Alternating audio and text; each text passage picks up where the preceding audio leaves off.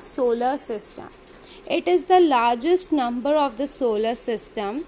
The diameter of the sun is about 109 times that of earth.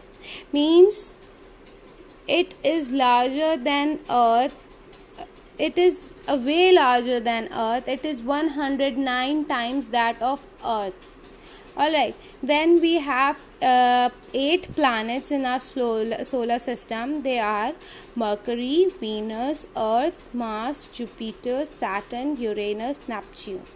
The first planet of the solar system and the planet which is closest to the sun is the mercury.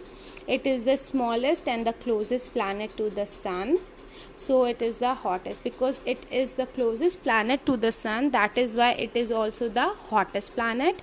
Then we have venus. It is often called the morning star and the evening star because it is the brightest planet. It is similar to the earth in size. It take 255 days to complete one orbit.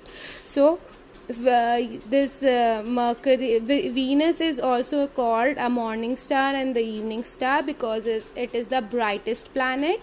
Then on third number it is our earth. It is the nearest planet third nearest planet to the sun.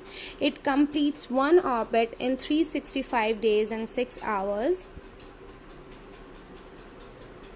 Then we have mars it is called the red planet because it has iron rich so red soil and pink sky.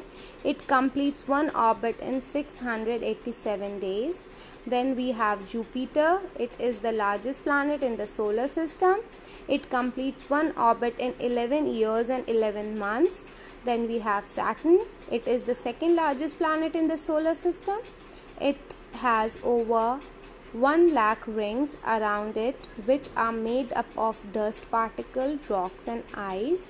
It completes one orbit in 29 years and 5 months. Then we have Uranus.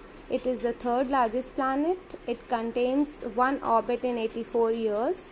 Then we